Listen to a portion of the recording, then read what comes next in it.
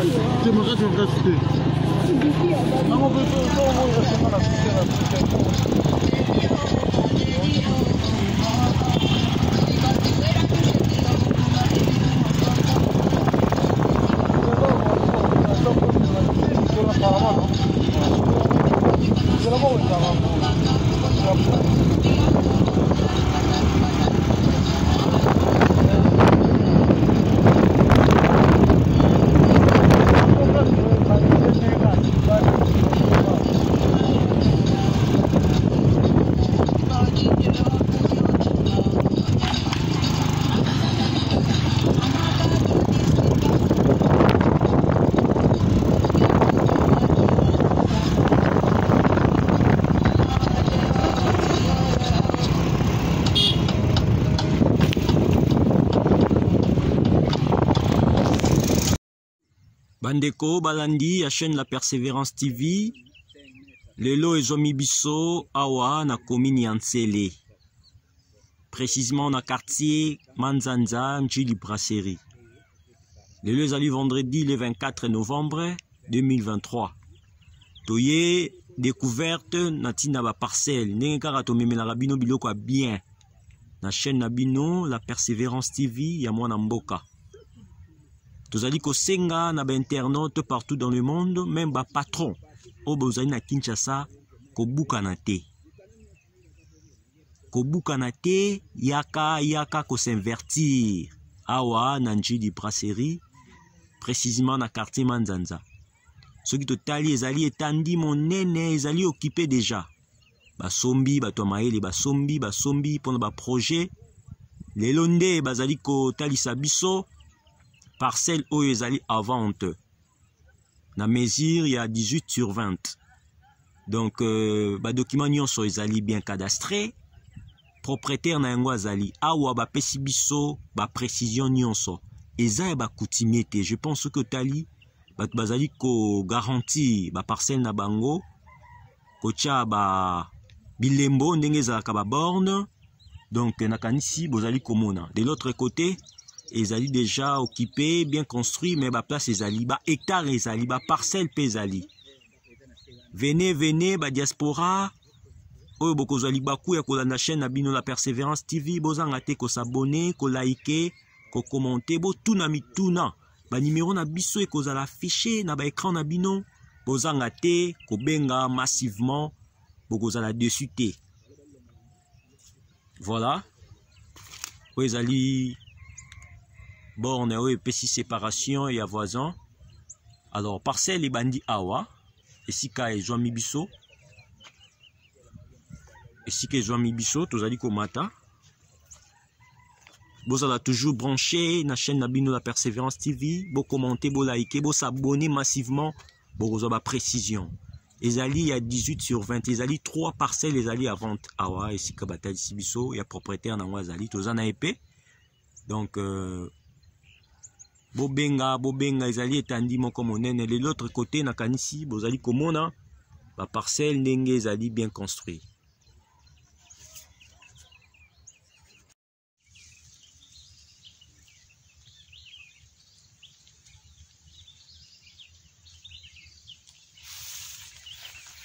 voilà oyo ezali numero cadastral oyo ezali route oyo eza na projet donc nzela touti oyo totalisi bino baparcelle entrée na yango yango oyo entrée de la manière boye ezali kobima mpo tozonga ti na nzela ya prince kuna donc euh, eza na projet eza na projet bainternaute na biso bosabone massivement na chaîne na bino bozanga te kokommente botuna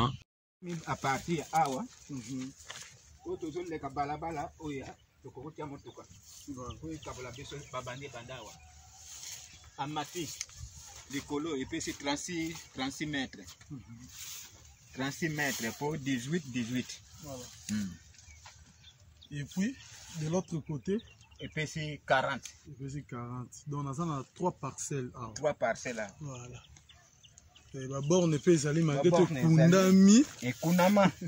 oyo tozokende boye eza nzela motuka oyo motuka oyo yango ekaboli biso na baclient mosusu mais pati enani jordan amati likolo likolo nyonso eza ya ye maintenant à propos ya bachef coutumier koto oyo omoni yango nde mpona bachef coutumier bino kosomaka biloko te mpo na nini soki ozosomba biloko mpa chef coutumier mhm. lobi lobi akochange yo kende lisusu kuna lobi kende lisusu kuna me bosomba na bakolo ah, eza ya bakolo mabele don ya bato ya baindividu bato ya famille oyo ezali ya groupement te Voilà, très cher internaute, nakanisi bozwi ba précision nyonso oyo bakolo esika batalisi biso voilà. parcelle oyo eza bien cadastre propriétaire na yango azali tosengi bosabone massivement na chaîne na bino la persévérance tv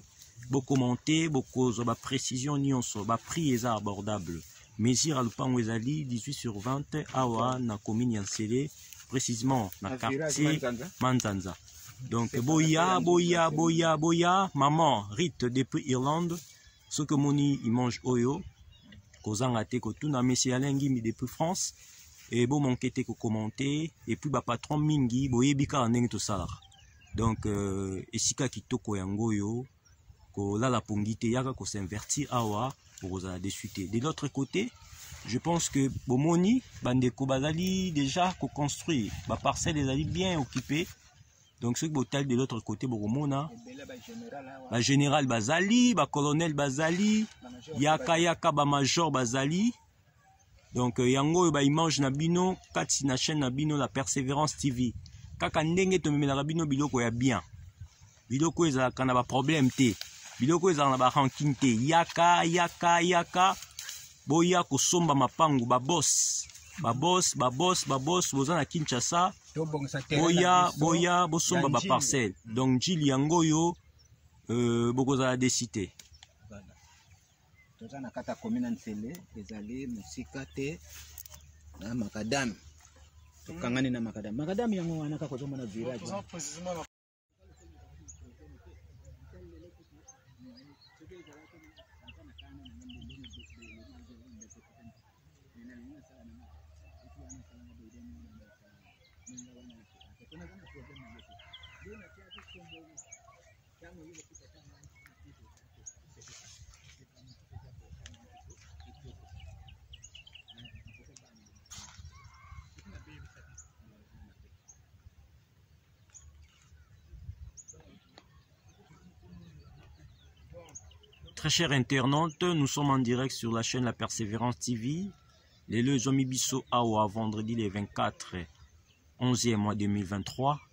awa na commune ya Nsele précisément quartier Manzanza